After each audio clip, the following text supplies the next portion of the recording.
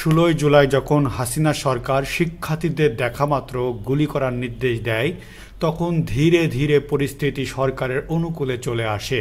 পরবর্তীতে শেখ হাসিনার বিশেষ অনুরোধে ও ভারতের নিরাপত্তা উপদেষ্টার সরাসরি তদারকিতে রয়ের প্রশিক্ষণপ্রাপ্ত চারশো কর্মকর্তা ঢাকায় আসে। তাদের ভাষ্য মতে, আন্দোলন কাশ্মীরি কায়দায় দমন করে তারা দিল্লি ফেরেন আঠাশ জুলাই। কিন্তু পরবর্তী পরিস্থিতি নিয়ে র ওয়াকিবহাল ছিল না। তাদের ভাষায় তারা সিআইয়ের কৌশলের কাছে হেরে যান পাঁচ আগস্ট।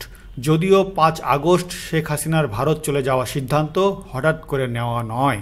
দুই আগস্ট প্ল্যান সি এর অংশ হিসাবে এই পরিকল্পনা করে রাখে শেখ হাসিনা ও ভারতের জাতীয় নিরাপত্তা উপদেষ্টা অজিত ডোভাল। উল্লেখ্য, ভারত দক্ষিণ এশিয়াকে তার নিরাপত্তার সংশ্লিষ্ট অঞ্চল হিসাবে দেখে, ফলে এই সব দেশের ব্যাপারে নিরাপত্তা উপদেষ্টার একটা হস্তক্ষেপ থাকে। র, পাঁচ আগস্টের পর, দশই আগস্ট, সংখ্যালঘুদের সমাবেশের আড়ালে একটি প্রতি বিপ্লব করার পরিকল্পনা করে।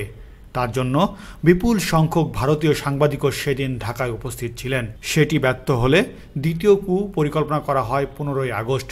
সেটিও ব্যর্থ হয়। তবে সম্প্রতি দেশে যে আনসার বিদ্রোহের পরিকল্পনা হয়, তা আওয়ামী লীগের অভ্যন্তরীণ। তার সাথে রয়ের সংশ্লিষ্টতা খুঁজে পায়নি দ্য মিরর এশিয়া। ভারতের পরবর্তী পরিকল্পনা কি হতে পারে তা নিয়ে গেল এক সপ্তাহ ধরে অনুসন্ধান করছে দ্য মিরর এশিয়া।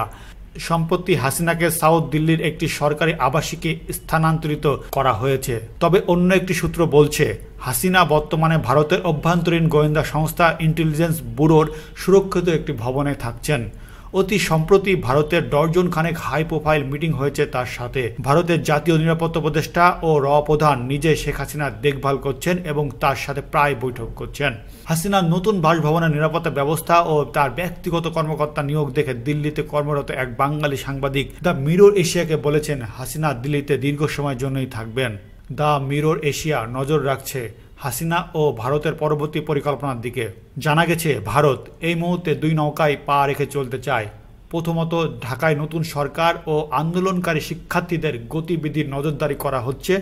অন্যদিকে বিএনপি ও জাতীয় পার্টির সাথে যোগাযোগ রক্ষা করার জন্য কূটনীতিকদের নির্দেশ দেওয়া হয়েছে। জানা গেছে, আপাতত দুটি প্রজেক্ট দেওয়া হয়েছে। প্রথম প্রজেক্ট এক সেপ্টেম্বর থেকে তিরিশ নভেম্বর। এই প্রজেক্টের উদ্দেশ্য হল ইউনুস সরকারের ওপর ভর করেছে শিবির, হেফাজত ও হিজবুত তাহরির, বামপন্থীদের মাধ্যমে এই বয়ান হাজির করানো। সেই সাথে হেফাজত ইসলামের একটি অংশ, যার সাথে রয়ে দীর্ঘদিনের যোগাযোগ। তাদের বোঝানো হচ্ছে ডক্টর ইউনুস সুৎকর তিনি মার্কিন এজেন্ট কোনোভাবে একজন ভালো মুসলিম নন। বেশ কিছুদিন গেলে এই সরকার সমকামীদের অধিকারকে স্বীকৃতি দিতে পারে। এই গ্রুপকে জামাতের সাথে ধর্মভিত্তিক দলগুলোর ঐক্য না হওয়ার জন্য নির্দেশ দেওয়া হয়েছে। তবে মিশন থেকে সবচেয়ে গুরুত্ব দেওয়া হচ্ছে আন্দোলনকারীদের সাথে হিজবুত তাহরির সংশ্লিষ্টতা ও তাদের মতাদর্শ নিয়ে একটি ভয় তৈরি করার দিকে। সম্প্রতি চিকেন নেক নিয়ে বৈষম্য বিরোধী ছাত্র আন্দোলনের অন্যতম সমন্বয়ক হাসনাত আবদুল্লার মন্তব্য ও সেভেন সিস্টার নিয়ে সমন্বয়কদের কারও কারও মন্তব্যকেও আমলে নিয়েছে বাংলাদেশ নিয়ে গঠিত গোয়েন্দা উপর টিম বাংলা মিশন। তাদের প্রত্যেকের ফেসবুক স্ট্যাটাসকে হিন্দি ও ইংরেজিতে অনুবাদ করে ভিক্টর টু এর টেবিলে দেওয়া হয়েছে। ভিক্টর টু হলো র এর একটি প্রোটোকল, যার কাছে বাংলাদেশ সম্পর্কিত সর্বশেষ সিদ্ধান্ত নেওয়া হচ্ছে।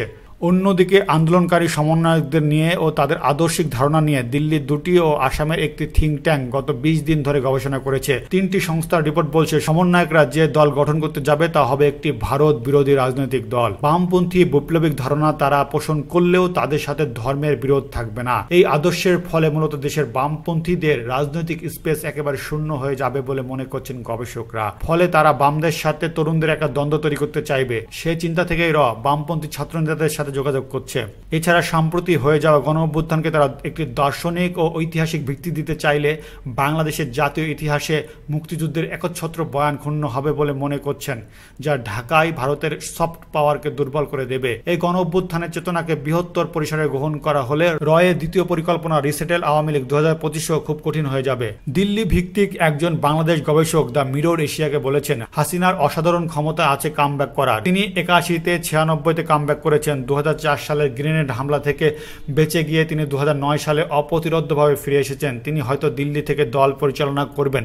তবে সেখানে সংকট হবে গণ অভ্যুত্থানের ইতিহাসকে জাতীয় ইতিহাস, সাহিত্যকর্মের অংশ করে একটি আদর্শিক ভিত্তি তৈরি করলে। তাই আমরা ছাত্রদের বেশি সময় দিতে চাই না। ভারত মনে করছে বিএনপি আমলে বড় আওয়ামী লীগ বেশি নিরাপদ থাকবে। বিএনপি জামাতের ক্ষমতার দ্বন্দ্ব তৈরি হলে আওয়ামী লীগ একটি পলিটিক্যাল স্পেস পেতে পারেন। হাসিনা নর্থ সাউথের সাথে ভারতের মূল ভূখণ্ডে যোগাযোগ করিয়ে দেওয়ার যে কথা বলেছিলেন সে স্বপ্ন একেবারে ভেঙে গেছে। বিএনপি এক্ষেত্রে ভারতকে সহযোগিতা করবে না। নতুন রাজনৈতিক দল হবে অনেক বেশি তারুণ্য নির্ভর তারা কূটনীতির চেয়ে রাজনৈতিক ভাষায় বেশি কথা বলবেন। এমনকি তাদের কিছু সিদ্ধান্ত সেভেন সিস্টারের নিরাপত্তা ঝুঁকি তৈরি করতে পারে বলে মনে করা হচ্ছে। ফলে এই মুহূর্তে ভারতের অগ্রাধিকার হলো তরুণদের কোনো দল গঠনের সুযোগ না দিয়ে বর্তমান সরকারকে নভেম্বরের মধ্যে হিজবুত তাহরির ও শিবির প্রভাবিত সরকার বলে একটা অস্থিরতা তৈরি করা। অন্যদিকে নির্বাচনের পরিবেশের কথা বলে আগামী ছয় মাসের মধ্যে আওয়ামী লীগকে প্রকাশ্যে রাজনীতিতে নিয়ে আসা, এমনটা দ্য মিরর এশিয়ার সপ্তাহ ধরে চলা অনুসন্ধান